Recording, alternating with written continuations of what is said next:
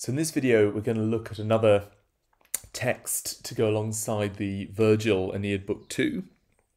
Uh, and this is a poem from Ovid's Heroides. Uh, Heroides is a collection of poems, and the title uh, translates into English as Heroines. Um, so, first of all, what actually is this collection of poems? Well, it was written by this poet called Ovid. Uh, his actual name was Publius Ovidius Naso, and we call him Ovid in English. He wrote this collection of poems in the 10s BC. So, if you remember, Virgil died with his Aeneid unfinished, but mostly finished, in the year 19 BC. So, Ovid is writing this just after Virgil's death. And that's quite important because, in many ways, the poem uh, that we're going to read here is entirely a response to Virgil's Aeneid. It's a kind of different take on a story from Virgil's Aeneid. and basically, all of the Heroides are poems that are written as letters from mythological women to absent husbands or lovers. So, Greek myth is full of uh, women who get abandoned by heroes, by, by men and Ovid is imagining, you know, what would these women say to those men if they were given a voice? So that's what he's doing. Um, the one that we're looking at here is poem seven, and it's a letter um, written as if from Dido to Aeneas after he abandons her. Uh, now, you may remember a bit of this Dido and Aeneas story from GCSE, but it's just worth recapping uh, what has happened. So the context is Dido, as a character, was uh, originally a princess of Tyre. She was born as a princess of Tyre, which is um, uh, to the east um, of of Carthage, where she ends up. Um, it is what is now Lebanon. Um, her brother, though, um, ends up uh, murdering her husband Sychaeus uh, for money, basically, um, and that uh, that's the king, by the way. Her brother is the king. He murders her husband Sychaeus. Um, she has to flee from Tyre, and she takes with her a band of refugees, kind of fleeing this evil king Pygmalion. Um, and they end up in North Africa. They found a new city called Carthage. Um, later on, and this is the story told in Virgil's Aeneid, um, the Trojan hero Aeneas washes up there, right? He's making his journey gradually from Troy, eventually to Italy. And among various adventures, he washes up in Carthage. He is welcomed by uh, Dido and the other Carthaginians, but they want to know who he is and so on, so he tells his story. Um, and that's where book two of the Aeneid comes in, right? Book two of the Aeneid is Aeneas telling his story and the story of the fall of Troy to Dido and the Carthaginians. Um, after that, um, Aeneas and Dido fall in love. And the idea is um, that they basically start to share the rule of Carthage. So they become a kind of king and queen, if you like, of Carthage. The problem is that Aeneas's fate is not to rule Carthage. His fate is to go to Italy um, and found a new kind of civilization, which will eventually become the Roman civilization. So if you remember in Aeneid Book 2, you get Creusa, uh, Aeneas's first wife, giving this speech about, um, you know, about how Aeneas will go to Italy and found a new civilization, etc. Um, so Aeneas has to leave Carthage. Dido is utterly devastated by this. Um, and she's so devastated about her abandonment that she uh, commits suicide. Uh, so this is now in Aeneid book four. Um, and Virgil, in his treatment of this story, is pretty sympathetic to Aeneas. Um, you know, he doesn't present Aeneas as a villain here. He presents Aeneas as someone who is simply following the commands of the gods and, you know, doing what he's told, even though it's very difficult going on to Italy. Um, Ovid is giving us the other version, right? Ovid is giving us Dido's version and saying, well, what would Aeneas look like from Dido's point of view? And the answer is basically a villain. So that's what we're going to see. Um, the poem begins um, Dido to Aeneas, uh, just telling us who is writing the letter, and then it begins like this Trojan, receive this song of dying Dido. What you read are the last words written by me. So when she says Trojan, that refers, of course, to Aeneas. She then says, At fate's call, the white swan, despondent on the grass, sings like this to the waters of Meander. I do not speak because I hope to move you with prayers. I offer up my prayers to a hostile God. But since I may have wholly wasted my reputation for merit and for chaste body and spirit, the waste of words is nothing. So, first of all, why is Dido suddenly talking about a swan? Well, the answer is there was a famous legend that um, swans are mute, they have no voice, until they sing one beautiful song just before death. Um, that's where the phrase swan song comes from in English. So, by comparing herself to the swan singing, Dido is pointing out that she is about to kill herself. Um, and she says, you know, she says, I'm not hoping to change your mind, Aeneas. She says, I'm offering up prayers to a hostile god, right? And that's Aeneas. She's referring to Aeneas as a hostile god. She says, I know that you're nasty, you don't like me anymore. Um, I know that I'm wasting my words, but I don't care. I'm going to say it anyway. And she says, you know, I've already wasted my reputation for merit.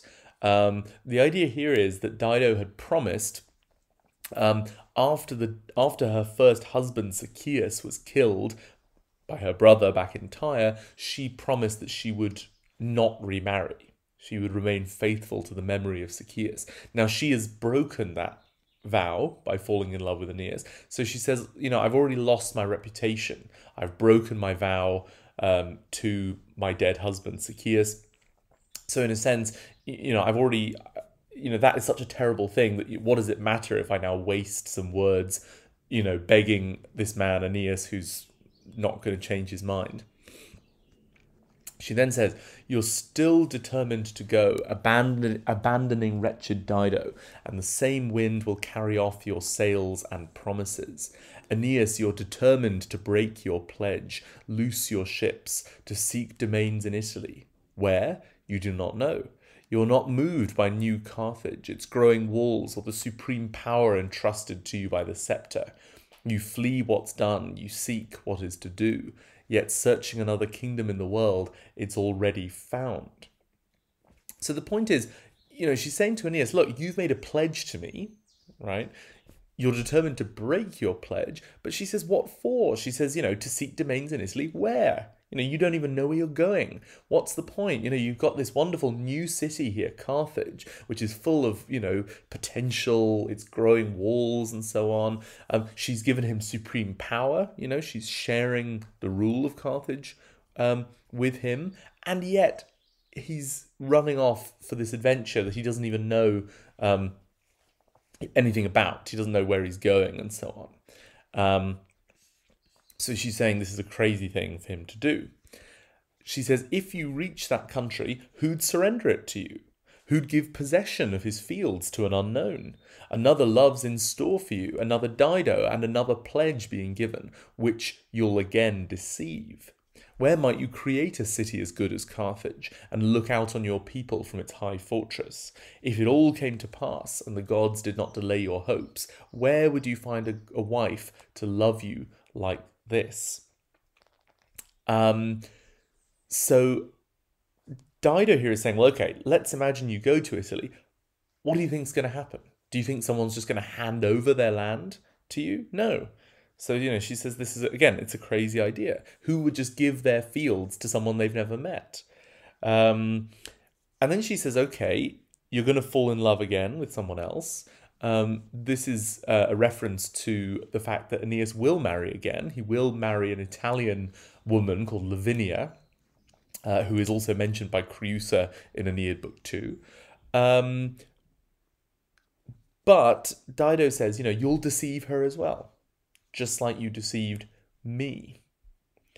Um, and she says, you know, you'll never find a wife to love you like I do. You'll never find a city as good as this city of Carthage is etc. Now, notice this is a totally different version of Aeneas from what we have in Virgil's Aeneid. Virgil's Aeneas is characterized by what is called pietas, you know, a sense of duty. Aeneas in Virgil constantly feels duty. He feels duty to Creusa, his first wife. He feels duty to his father Anchises. He feels duty to, you know, the Trojan people who he has to save, or at least save as many of them as he can. You know, he feels duty to the gods, which is why he rescues the statues of the gods of Troy. Um, you know, whereas in um, in Ovid here, Aeneas is the opposite of dutiful, right? He is a betrayer. Uh, he is someone who betrays Dido and who Dido imagines will betray his next wife as well. She says, I'm scorched like wax torches dipped in sulphur, like holy incense added to smoking pyres. My sleepless eyes cling always to Aeneas. I've Aeneas in my mind day and night. It's true that he's ungrateful and silent about my gifts, and if I weren't a fool, I'd wish to be free. Yet I don't hate Aeneas, though he might think badly of me, though I complain of his treachery, still I love him more. So Dido is experiencing this kind of burning pain of rejected love. Right, she feels like a wax torch dipped in sulfur, uh, like incense added to smoking pyres. Now, pyres are those piles of wood that you put a dead body on to burn. So all of this imagery suggests that she's about to commit suicide. And we can see how confused her feelings are. You know, she says, if I were not a fool, I would wish to be free. In other words, if I were not a fool, I would just hate Aeneas and move on. But the problem is she cannot move on. She still is in love with Aeneas. Then she says, Venus, spare your daughter in law, and Cupid, embrace your hard hearted brother. Let him serve in your ranks. So I, who began this love, I don't scorn indeed to say this, might offer him the substance of my affections. So, Venus, we have to remember, Venus, the goddess of love, is the mother of Aeneas. So, therefore, you know, Dido believes that she and Aeneas are married although the marriage ceremony was a bit um, confused, and you know Aeneas doesn't think they're properly married. But anyway, Dido sees them as married, so therefore, if Aeneas is Venus's son, then Dido must be Venus's um, daughter-in-law. So that explains uh, the phrasing here. Um, similarly, Cupid, the god, um, he is, um, you know, the, the little chubby baby with the bow and arrows. He is the son of Venus, so therefore that's why he is Aeneas's brother, because they are both sons of Venus. And so basically, Dido is saying, you know, she's asking, um, she's asking um, the gods, Venus and Cupid, as the gods of love, to kind of make Aeneas love her again. Um, and and then she is willing um, to take him back. Is the point? Um, and again, there's a desperation here, right? We, you know, this isn't going to happen because fate dictates otherwise, right? Aeneas's fate is to go onwards to Italy. So this prayer is not going to be answered. Uh, the prayer to basically keep Aeneas uh, in Carthage. She then says, I'm cheated, and this is a false idea I speak of. He differs from his mother in disposition, begotten by stones or hills, or native oaks on tall cliffs, by savage beasts, or by the sea, such as you now gaze on, stirred by the winds? Why do you still prepare to battle with adverse tides? Where do you flee to? Storms obstruct you. The storm's aid will benefit me. See how the wind excites the crashing waves. The storms I wished for you comes to pass without me. Wind and wave are more just to me than your heart. Um, so here at the beginning, he uh, Dido says that Aeneas must be begotten by stones or hills or oaks. uh, or beasts or something. And the point is that, you know, Aeneas has told her that he is the son of Venus, right? But Venus is the god of love. So Dido is saying, you know, if you were really the son of the love goddess, you would be loving. You would be a loving person, and you're not.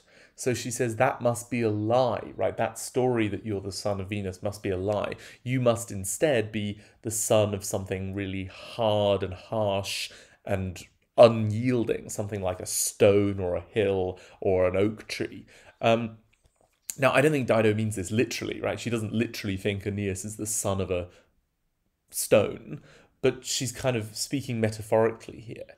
You know, Aeneas is more similar to a to a tough stone or tree um, than he is to Venus because he's so cold and, and lacking in, in in feeling and sympathy. Um, and she says, you know, why do you still prepare to battle with adverse tides? In other words, there's a storm happening, you know, so don't go. You know, just stay, um, stay here. And um, and she says, um, you know, she says the storm's aid will benefit me, and I think, um, I think she's kind of suggesting that it might keep her there.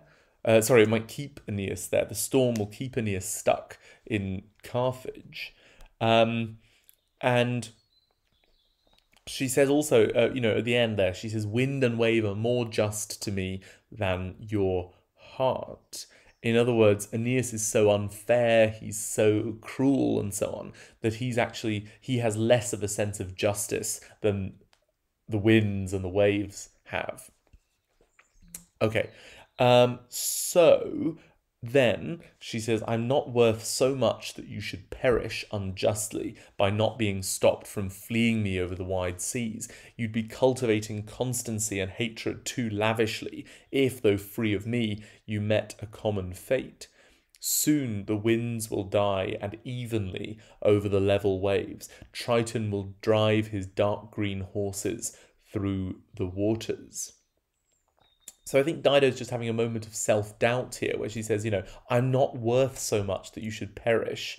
So in other words, she she's almost recognizing that Aeneas has this important fate, and that she is kind of unworthy. She's not, you know, she's almost irrelevant in the grand scheme of things. Um, and um, so I think that's that's her her point here, and um, and she's pointing out that soon the storms will die down and Aeneas probably will be able to make his journey. So she's kind of almost acknowledging that her prayers are not going to be answered, I think. Um, then she says, I wish that you too might be altered like the winds, and you will unless you're harder than an oak or you will unless you're harder than an oak. Why, unless you're ignorant of how furious the seas can be, do you often so wrongly trust the water you've waters you've tried? Even when you loose the hawsers, persuaded by the tide, still the wide sea holds many sorrows. So this is still the same point. You know, why are you trying to sail on the sea when it's so dangerous? Um, and she says, um, you know, why do you so often trust the waters? Because, of course, it was a storm that shipwrecked Aeneas in Carthage in the first place. He was never intending to come to Carthage. So she's saying, look, you've already been shipwrecked once. Why are you going out to sea again when it's dangerous? So the whole point here is her saying, stay here, don't go. Um, stay here in Carthage where it's safe rather than a dangerous journey uh, on the sea. She then says it's no use tempting the waves when faith's been violated. There's punishments demanded for treachery. There, punishments demanded for treachery, especially when love is wounded, because Venus, it said, the mother of Cupid, was born naked from Cythera's waters. Okay, the logic here is a little bit confusing, but what we need to understand is the myth um, about Venus's birth, right? The, the myth is that Venus was born from the sea right? And if you look in this uh, picture here, right, this is a famous painting by Botticelli which depicts the birth of Venus from the sea. So the idea is okay, if Venus is born from the sea, the sea is in some sense her domain. She has some kind of power over the sea. And therefore, if someone has betrayed love, which is her other domain, enters the sea, then she is going to have the power to punish them, right? There is this ancient idea that, you know, gods can only really punish mortals within their own sphere of activity. So the fact that Aeneas, sorry, the fact that Venus was born from the sea makes the sea her sphere of activity. And so someone who has betrayed love, which is her other sphere of activity, and then entered the sea, is a prime target for punishment by Venus. That's the the argument. Um, so she's saying, in other words, you know, since Venus was born in the sea, you are taking a big risk. You, Aeneas, are taking a big risk if you enter the sea. Okay, then she says, Lost, I fear lest I lose and harm the one who harmed, lest my enemy shipwrecked drink the salt breakers. Live, I beg you. Thus I'd curse you more harshly than if you died. You'd be more widely known as the cause of my death. Come, imagine if you were snatched up by a swift whirlwind. Let there be no weight to that omen. What would be in your mind? Um, so, I think here we again see Dido's mixed emotions because she says, I fear, she says, I am lost, right? She's entirely in a mess, but she says, I fear lest I lose. In other words, she doesn't want to lose Aeneas, which is strange because in a sense she's already lost him and you know even though she's lost him as a husband she still doesn't want him to die. And likewise, she says, I don't want to harm the one who harmed. So, in other words, Aeneas has betrayed her, but yet she still doesn't want to do him any harm, even through her prayers. Um, and she then says uh, later on here, she says, Imagine if you were snatched up, snatched up by a swift whirlwind, what would be in your mind? So she says, okay, she says, I don't want you to be caught up in a storm right? She says, let there be no weight to that omen, right? Let that not happen. But she says, if you were caught up in a storm, what would be in your mind? So she she wants she's trying to imagine, you know, if Aeneas was in a storm and was on the point of dying, perhaps, what would he be thinking about? And then she says, immediately the perjury of your false tongue will strike you and Dido, forced to die by Trojan deceit. The image of the wife you cheated would stand before your eyes in sorrow and with loosened, blood-stained hair. However many times you say, Forgive me, I deserved it all, you'll find each one a thunderbolt falling on you. So so Dido is imagining, you know, what would Aeneas be thinking in his final moments? And she imagines that he would almost he would see a kind of hallucination almost of Dido in front of him, and he would have a kind of deathbed conversion, if you like. He would suddenly repent on his deathbed, and he would say, "Oh, you know, I, I now realize that I was in the wrong," um, and he would find each, you know, each time he says this, he would find it like a thunderbolt falling on him. In other words, it would be so painful to suddenly realize that he was in the wrong. Um, now, of course, all of this is fantasy from Dido because, um, first of all, Aeneas doesn't die in a shipwreck. Um, you know, as we know, he goes on to Italy to found what will become Roman civilization. Um, but also, we don't know whether um, Aeneas feels this kind of guilt. Right? She wants him to feel this guilt, but who knows whether he does or not. Um, okay, she then says, Grant a little space to your cruelty and the sea. A safe path in future will be the great reward for your delay. If you've no care for me, spare your child Iülus. It's enough for you to bear notoriety for my death. Why do that son, Iülus, and your household gods deserve this? Shall the waves bury those gods you rescued from the fire? So, um, when Dido says, grant a little space to your cruelty in the sea, a safe path in future will be the great reward for your delay. She's saying basically just wait a bit. You know, don't go yet. Wait for the storms to calm down. And she's talking about two types of storms. One is the sea, so the literal storms, and the other is his cruelty. So she's basically saying, you know, if you just wait a bit, first of all, you will calm down. Um, and realize that you're better off here. And second of all, the sea will calm down. Um, so she's it's it's kind of a bit confused what she's hoping for here, but it's the idea seems to be if you just wait a while, um, then if you do have to go, then at least the storms will have subsided. But hopefully, maybe um, Aeneas will have changed his mind about going at all. Um, and she tries to do a bit of, I guess, emotional manipulation here. So she says, okay, you don't want to stay for me. Fair enough. But she says, what about your child Iulus? Um, are you really going to risk his life sailing into a storm? And then she says, "What about your household gods? Right? These are the the um, little statuettes um, that Aeneas saved from the flames of Troy when Troy was being destroyed." And she says, "You know, what's the point of of bravely saving the statuettes of the Trojan Penates, the Trojan household gods, um, from the fire, only to then lose them at sea in a shipwreck?" So again, the point is just stay a little while longer. Um, she then says, But you did not bring them with you, as you told me, traitor, nor did your sacred father straddle your shoulders. You lied about it all, for your lying tongue did not start with me, nor am I the first one to be punished. If you ask where Creusa is, the lovely mother of Iulus, she died alone, abandoned by a hard-hearted husband. You told me this, but in winning, you in winning me, you suppressed it. From that minor fault, came my future punishment.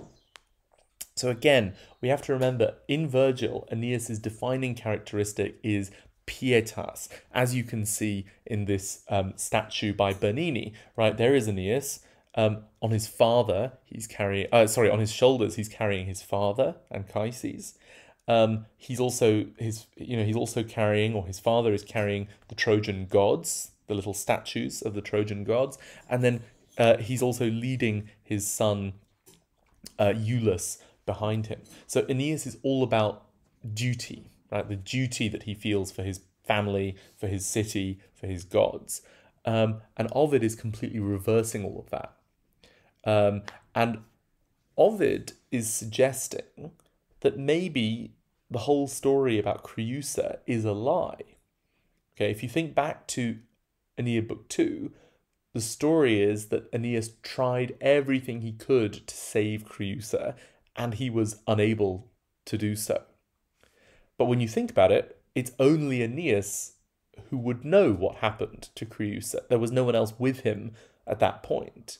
Uh, you know, the whole scene in Book Two of the Aeneid when he's searching for Creusa, he is alone in that scene. So, therefore, how do we know that that is what actually happened. So Ovid's suggestion is that in fact Aeneas abandoned Creusa in a cruel way and now is doing the same thing to Dido. And Dido is suggesting that um, you know, she believed Aeneas' story about Creusa, but she was wrong to believe it. And Aeneas' behavior here kind of demonstrates um, the kind of character he is, and that he must have been lying about the Creusa story as well. Um, she then says, I've no doubt that your gods condemn you, storm ridden for seven years by land and sea, spewed up by the waves, I received you to a safe harbour, and scarce having heard your name properly, gave you a kingdom. Yet I wish I'd been contented with those services, and my reputation not buried by our union. That day harmed me when a sudden dark rainstorm forced us to shelter under the roof of a cave. I heard a voice. I thought it the nymphs wailing. It was the Furies giving warning of my fate. So Dido is suddenly thinking, okay, you know, you Aeneas, you've been you've been kind of chased around the place by storms for seven years. So she's saying, huh, this must mean that you're a bad person because the gods are punishing you, right? So Aeneas, instead of being the victim of, you know, um, bad luck and so on with all these storms, suddenly in Ovid becomes a kind of villain who the gods are punishing for his bad behavior. Um, and Dido is saying, "Look, I gave you so much. I let you, I, you know, I let you in. Um, I barely knew who you were, and yet I fell in love with you and I allowed you to share my kingdom of Carthage. and so on. Um, and she says, I wish I'd just stopped there, right? I, I wish I'd been contented with those services. I wish I'd just, you know, helped you out and then sent you on your way. Um, and then she talks about the dark rainstorm. This is the story of their marriage, right? That they were out hunting one day. Um, there was a rainstorm. They sheltered in a cave, and that was where they did some sort of marriage ceremony, which Dido interprets as a marriage. Aeneas thinks it wasn't a proper marriage. But the point is, you know, Dido is just saying, I wish that had never happened. Um, and she says, you know, she heard this voice. She thought it was the sound of the nymphs, kind of celebrating their marriage, but she now thinks it was actually the Furies, you know, these avenging goddesses who are kind of foretelling disaster. Um, okay, she then says, Exact my punishment, wounded honour, and by the violated laws of my marriage bed, leave no reputation to my ashes. And you, ghost and spirit, and ashes of my Sychaeus, to whom, alas for me, filled with shame I go. Sychaeus is honoured by me in a marble shrine, covered by shadowing branches with their white strands of wool. Um, so she's basically saying, you know, she has been, you know, she's acted wrongly. She's betrayed her vow to remain faithful to Sychaeus. So she says, you know, exact my punishment. She's ready to be punished, um, and her suicide will accomplish that. Um, she says, um, leave no reputation to my ashes. In other words, she's again, she's broken her vow, so she doesn't deserve a good reputation after her death. Um, and she says that she is going to be with um, Sychaeus right? Because Sychaeus is dead, so she's committing suicide and she'll go and join him in the underworld. Um, and you know, again, I mean, she's been honoring, she's built a shrine to Sychaeus, but of course, she feels like she's betrayed him anyway because of this um, relationship with Aeneas. She then says, From it, that's the shrine, from the shrine, four times I heard his familiar voice calling me by name, his tones faintly saying, Dido, come. No delay, I come. I come to you a wife in debt, yet still I am late through confessing to my shame. Grant forgiveness of my sin. He was worthy who deceived me, that it was him removes the evil from my offence. So she says that, you know, Sychaeus is calling to her to join him in the world of the dead. Um, and she says, yes, okay, I've, I've done bad things.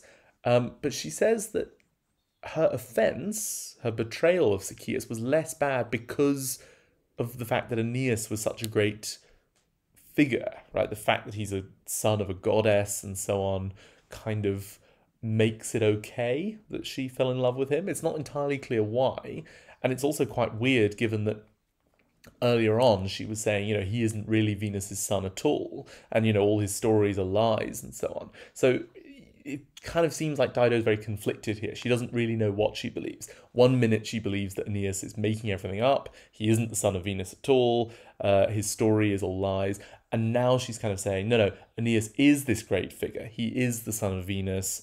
Uh, he is a great Trojan hero, and the fact that he is such a great figure makes it more understandable and excusable um, that she fell in love with him. So, you know, again, she's very conflicted and she's stating contradictory things depending on what argument she's trying to make at the time. She then says, His divine mother Venus and the son's pious burden, his old father Anchises, gave me hope he'd be a true husband to me. Um, so again, she's kind of excusing herself. She's kind of saying, well, the fact that he's the son of a goddess, um, the fact that he is a nice guy, you know, saving his old father from Troy, that kind of convinced her that he would be a good um, husband. She says, If I was mistaken, the error had an honest cause. Add my loyalty, and nothing's to be regretted. The course of my fate holds true to the end, and runs clear to the last day of my existence. My husband Sychaeus died at the altar of his house, and my wicked brother Pygmalion has the spoils. Exiled from Tyre, I left my country, my husband's ashes, and endured harsh journeys pursued by enemies. Um, so in this passage here, she's sort of saying, I think that you know she's had very bad luck basically throughout her life. Um, you know, her brother was evil. Her husband was killed by the brother. She had to be a refugee fleeing from Tyre, and in a way, this final disaster and suicide is just a continuation of the kind of wretched life that she's had um, all the way through. Um, she then says, Escaping my brother and the sea, I was brought to unknown lands, and I won this shore that I granted to you, faithless man. Right, so that's Carthage. She says, I founded Carthage and laid out wide walls on every side, a cause of envy to the neighbouring peoples. War broke out. A stranger and a woman, they tested me by war, and I'd barely prepared the weapons and defences of my new city. I was flattered by a thousand suitors, begging to wed me, and I don't know which of their marriage beds I preferred. So Dido here is just going back over the story. You know, she escaped Pygmalion, she sailed across the sea, she founded Carthage, um, and as soon as she had founded it, a war broke out, right? Even though she was quite vulnerable, she's a stranger, she's a woman, nonetheless, the neighboring peoples uh, attacked her at a time when she was barely just getting the city started.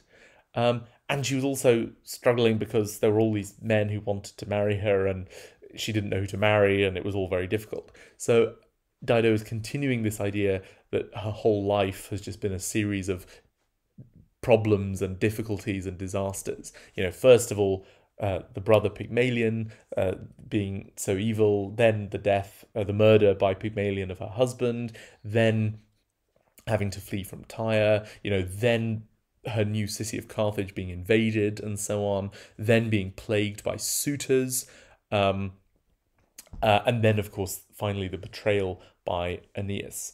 Um, the poem does go on a bit from there. Um, and if you want to um, read a bit of the rest of it, um, then you can find it online. But that is um, the end of the section um, that's uh, set for the exam. And I think um, the main thing to take away from it when you read back over the poem is to think about how the depiction of Aeneas is different here compared to in Virgil. So in Virgil, we're constantly seeing this picture of Aeneas as dutiful um, at many, many different points um, in Aeneid Book 2. Uh, you know, we see him rushing off to the palace, for example, to protect Priam and the other Trojans there. Uh, you know, we see Aeneas kind of, um, you know, protecting the Trojan refugees, kind of hiding them um, at the mound of Ceres, um, in, in you know in, in the sh- shelter of that of that hill, we see him then going back for his wife Creusa. So Virgil is constantly reminding us what a good guy Aeneas is, whereas Ovid is completely turning that on his head and turning Aeneas into the faithless betrayer of Dido. So I think so that's the crucial contrast to keep in mind when you're reading back over this um, poem.